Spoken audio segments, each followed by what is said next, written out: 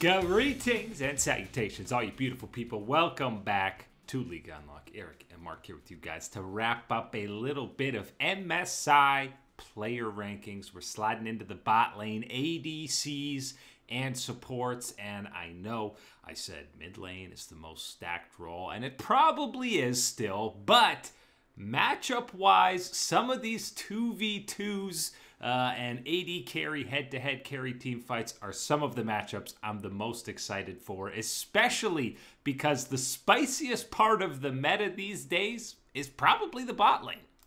I think any other year, you might be able to go to the bottom lane and say, this is where all the heat is coming from for this MSI. Unfortunately, or fortunately, depends on how you're looking at it, we do have the stacked mid lane and the top lane. Whatever one you really want to pick, those solo lanes, they are juiced. But that doesn't mean that the bottom lane doesn't bring the heat like we know it does for MSI. Yes, both the ADCs and supports, extremely interesting angles to talk about with these players. Dive right into it. Let's start with those marksmen, and towards the bottom of the table, you'll immediately see the LCS, a couple of ADCs making their international debuts. Obviously, Massu is a very fresh rookie.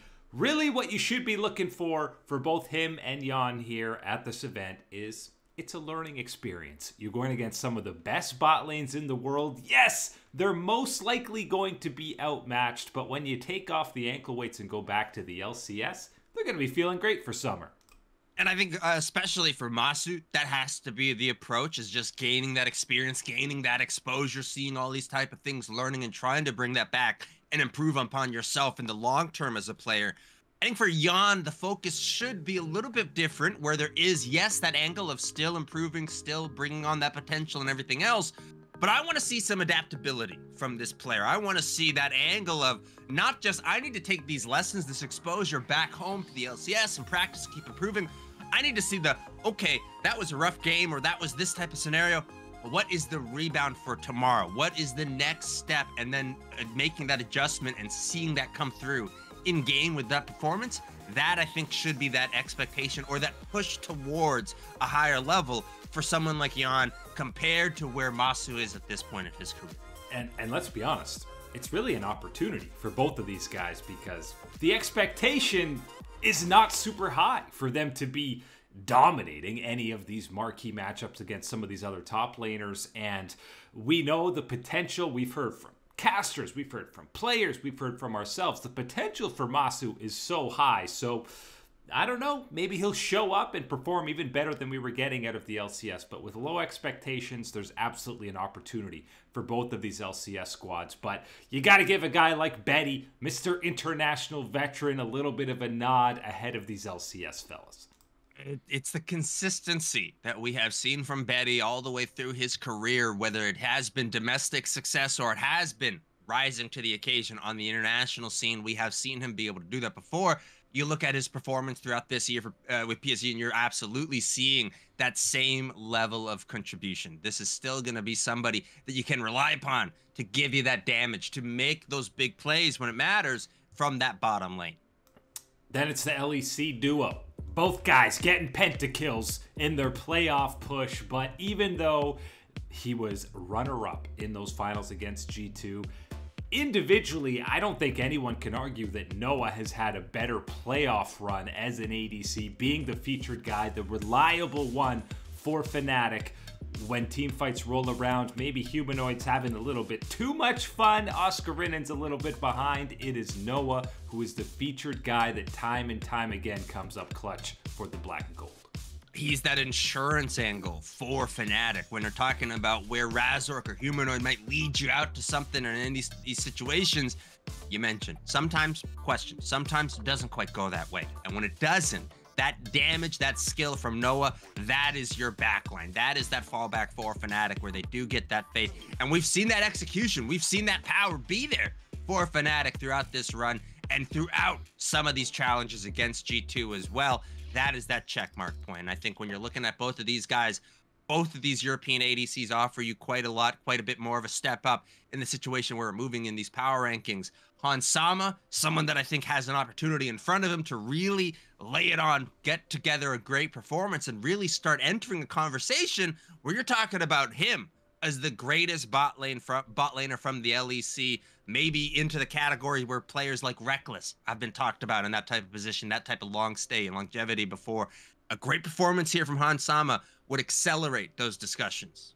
Absolutely. If we're getting a couple of international solid performances again out of him, I mean, you're approaching eight years that we've been seeing Hans Sama on the Rift. So hasn't been quite the same level this split that we've seen out of previous splits. So yeah, another opportunity for him. Uh, but Noah, honestly, you might accept arguments to even put him ahead of Peyz in that four spot, who's been slumping a little bit, but we're kind of we're given that respect for Peyz playing in the LCK and being on Gen G, who won yet another split, but he has by no means been close to the level we got out of him in his rookie year it's kind of hard to unseat a guy that just has oh, what is it? Three straight finals appearances three straight finals victories? He's yeah, never lost in the lck in his career. It's wonky i know it's it's relatively short but still for relatively short that's an insane amount of success still at the most guys never get three lck titles in their whole career. As, as keen how hard how long of a journey it was to get to just that number one on the trophy list Peyz, he's got a couple of them, and Peyz heading towards this event does get that nod ahead of the European ADCs. Part of that is that respect of realizing it. Part of it is also knowing that he's vulnerable at this position. I think Hans Sama, Noah, heck, even Betty really start to pop off, really have a great event. They could leapfrog in this type of situation where you're feeling the power is uh, at the event amongst these ADC players. Right now, Peyz is rolling in that spot, and I don't think it's going to be pedestrian paced, passenger princess Peyz. I don't think that's what it's going to be for all that long. I really think that he's starting going to start to warm up. MSI could be the event for it. Which is when Gen G truly becomes a terrifying prospect, is when that bot lane levels up to what the rest of the squad is putting out on the Rift. But the biggest gap on this list is 100% when you get to the top three. And JackeyLove is that uh, barrier because, I mean, individually, even him versus Peyz you felt a whole lot better about JackeyLove throughout the entirety of spring. I think when you're climbing up to where Noah and Hans Sama is, maybe that's the stratosphere, uh, you know, the atmosphere type of thing.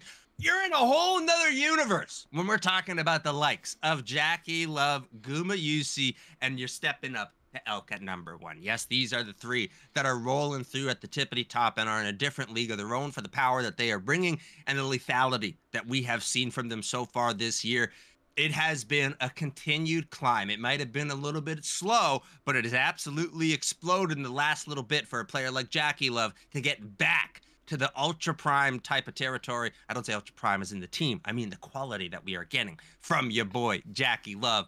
That is a difference, and he certainly has been showing it on every sort of champion, including, of course, the Draven that we love to see him pilot best Draven at the event. Sorry, Hans Sama. It's got to go the way of JackeyLove for that one. But then ahead of him, a pretty easy top two, I think, even though, again, Guma lost to Gen G and Peyz in the finals. I don't think anyone in their right mind was saying that Gen G's bot lane outperformed T1 in those finals. No, there's zero question about that one as far as where the difference maker was, who you could trust to try and be that guy for your team. It was Guma. He was the guy stepping up. He was the difference maker. He was the X factor all the way through that series 14-1, whether they were going to come across the finish line as the victors or not. He did so much to try and get it. Unfortunately, not enough in the end, but what we did see was absolutely a hero. Guma is that guy, and he's got that type of power, got that type of skill, got that form right now for T1 heading into this event. The only thing that stops him, the only thing, is if he was able to get that championship.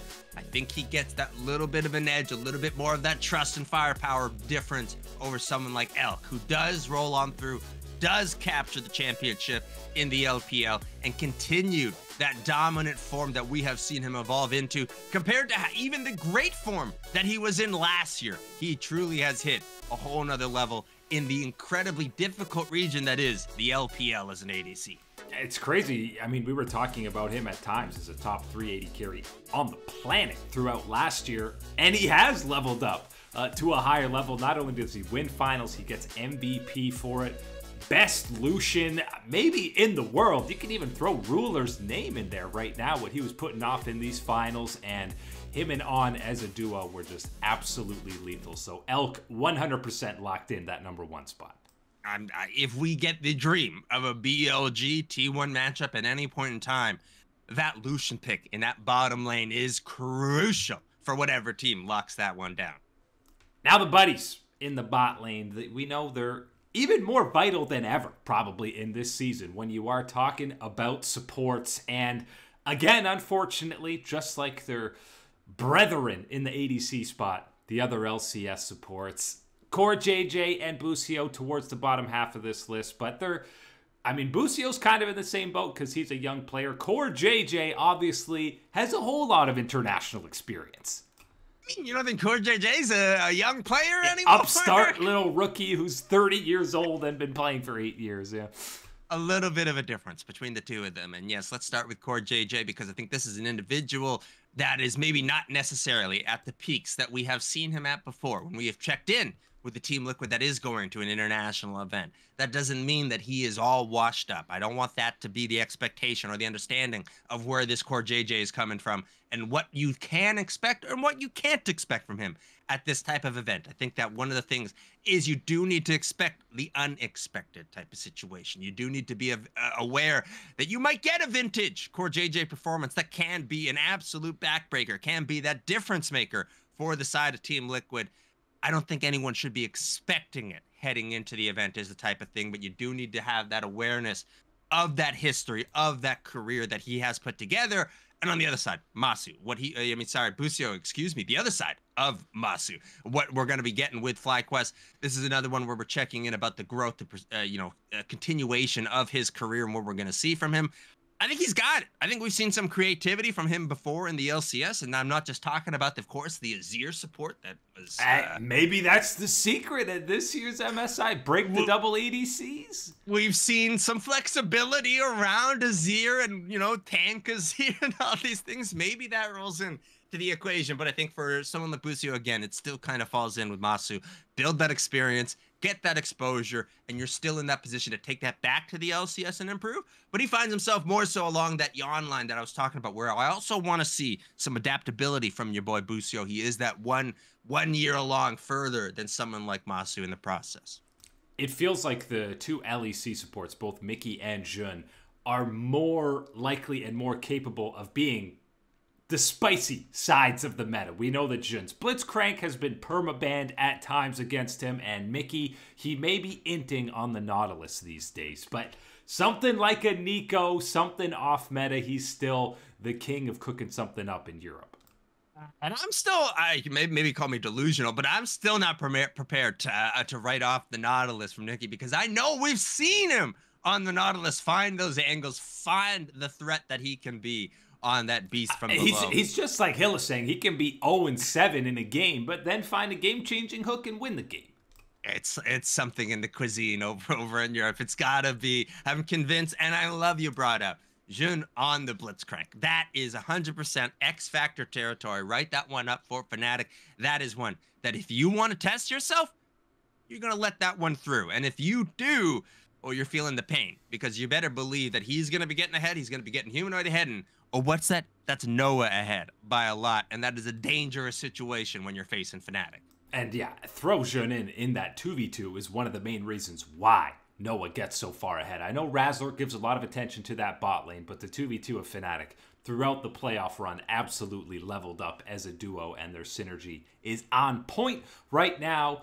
Lehends slides into that four spot. I don't think you're talking about him slumping in the same way that we've seen out of Peyz. He's had some pretty good roams. He seems comfortable back on this Gen G lineup, but he's got to deal with a resurgent Meiko in that three spot. Who you go back to last year at the Asian Games when Meiko was on this roster, people were saying this guy's career is done. He's washed. He shouldn't even be playing in 2024.